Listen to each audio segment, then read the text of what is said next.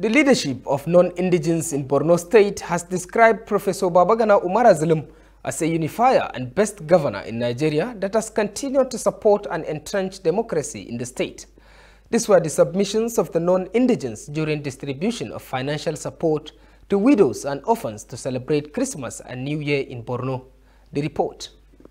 In addition to the free travels provided by the Borno state government to non-indigenes to celebrate Christmas and New Year in their respective localities, the government has provided a special package for widows and orphans who are residing in Borno for the festivity. The faces of the benefiting widows speak volumes of how the intervention will assist them in catering for the needs and that of their loved ones during the festive season. If you to meet Governor what will you tell?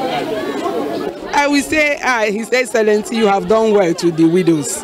We are very, very happy. You made us happy in this season of Christmas. So we thank God for what Governor Zulum have done. Hausa people say daga sama zuwa kasa, daga kasa kuma zuwa sama. Zonal Coordinator Non-Indigens in Borno, Chief Emmanuel Ogochukwu Ugudike Go Easy, appreciated efforts of Governor Babagana Umara Zulum's administration in transforming Borno with life-saving policies, programs and projects which he said they will stand the test of time. We thank His Excellency Engineer Professor Babagana Umara Zulum for his kind gesture. In this kind of program, he always remember all the widows. Chief Emmanuel Ogochukwu also used the medium to commend outgone chairmen of local government councils and congratulated the newly appointed caretaker chairman.